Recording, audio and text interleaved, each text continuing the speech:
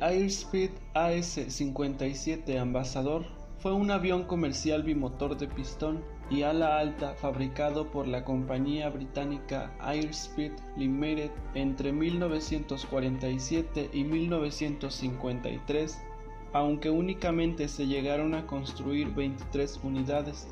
El modelo es tristemente conocido por ser el avión protagonista del desastre aéreo de Múnich.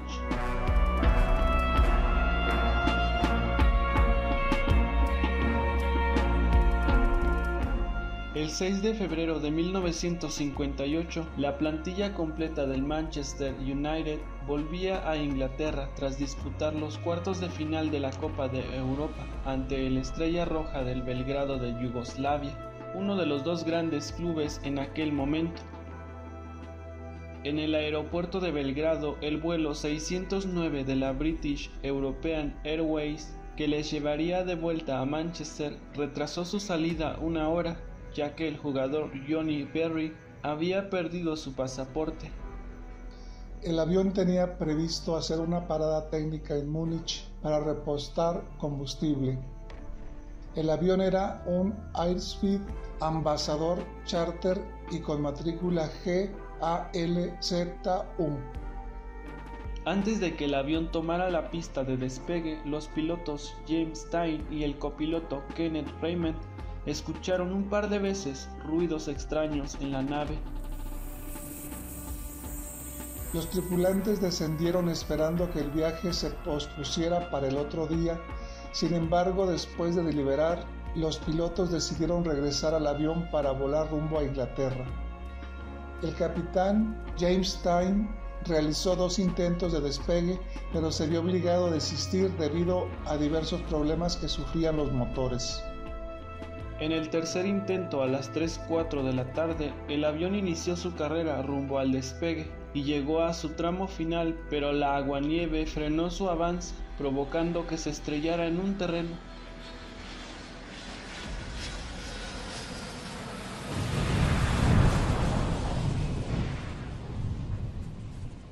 Un ala golpeó una casa, la parte izquierda de la cabina impactó con un árbol y la derecha golpeó con un cobertizo, el cual explotó por el combustible que se encontraba dentro.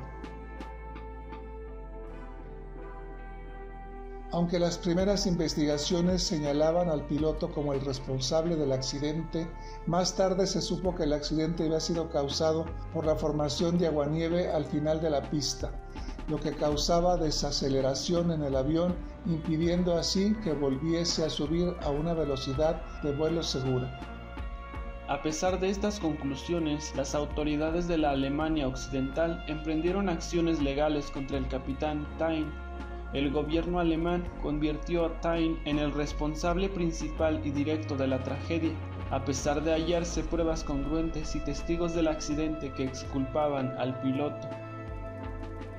Por alguna extraña razón los testigos del caso no fueron llamados a declarar por las autoridades germanas y solo se tomaron acciones judiciales en contra del piloto, que finalizarían en 1968 siendo declarado como inocente de cualquier responsabilidad del accidente. Tain, que poco después del accidente fue despedido por la BEA, se jubiló y volvió a su hogar en Berkshire como granjero. Murió en 1975 a la edad de 53 años como consecuencia de un paro cardíaco. Siete futbolistas del United que viajaban en el avión murieron en el acto.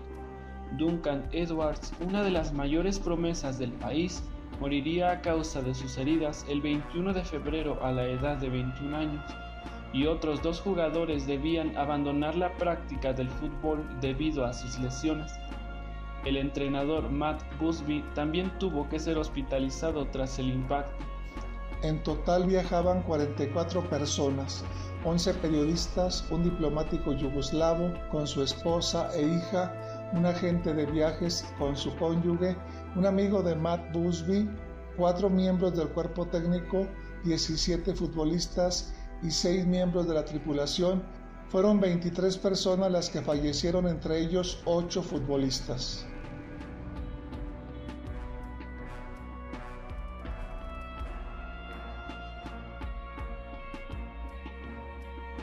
El futbolista Liam Whelan dijo cuando se decidió que el vuelo se llevaría a cabo, Vamos a morir pero estoy listo.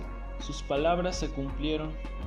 Con la muerte de alguno de los llamados Busby Babes, se acabó lo que parecía ser una generación dorada para el fútbol inglés destinada a gobernar Europa y el mundo. El sueño acabó rápido y de manera trágica.